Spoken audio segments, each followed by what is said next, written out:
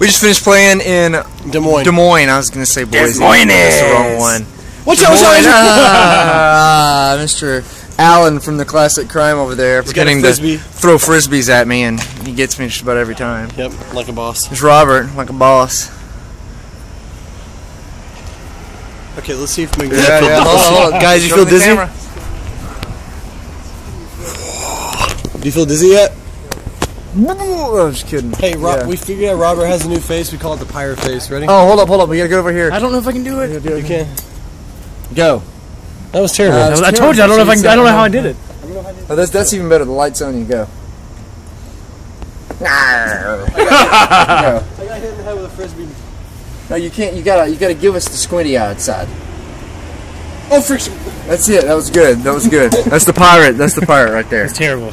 Not terrible. It's awesome. That's not what I did yesterday. Well, despite despite your intent. Yeah, that's awesome like that. No.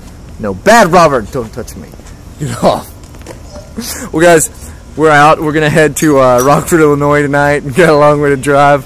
Hey, someone was awesome and they they gave us a hundred dollar gift card for gas. Not It's- 800, just a, a, a single hundred. One hundred dollar gift card. It was amazing. It was um, was a huge blessing. A huge blessing. Very We were huge. blown away by that.